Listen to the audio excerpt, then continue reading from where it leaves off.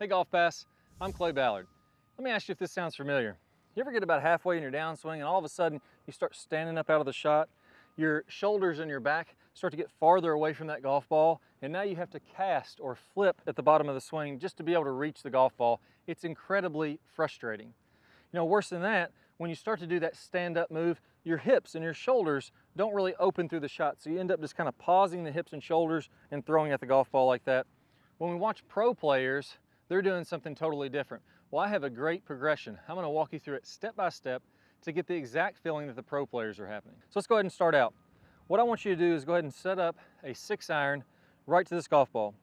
Now with a six iron, what pros are doing is they're taking about 30% of the loft of the club off.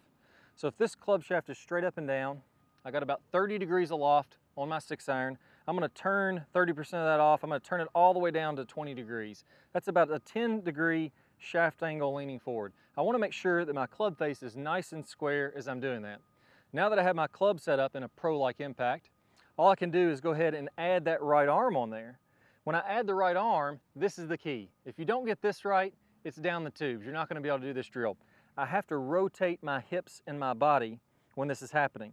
And if you look from the down the line, you'll see that my shoulders are a little bit tilted here. I don't want to be standing up like this too far away from it like we talked about before. I want my hips and my shoulders open and I want my shoulders tilted slightly so they're down at this golf ball. Now I can comfortably get in a pro impact position.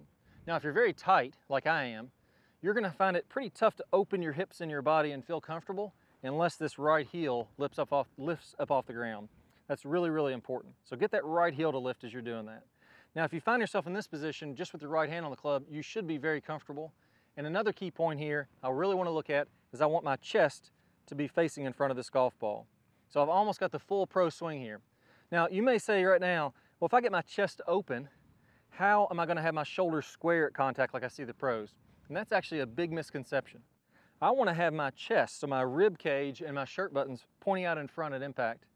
And it's just my left arm coming across my chest and adding to the club that makes it look square.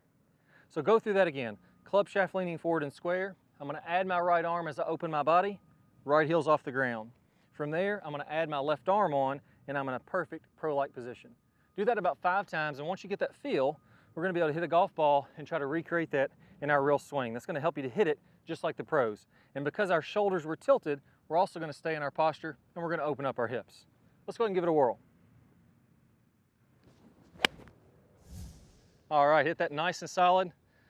I really can't hit one, one much better than that. That's helped me to get a lot better crisp contact, and I know it will for you too. Do this drill, then head over to GolfPass for some more great videos. I can't wait to see you in the next one.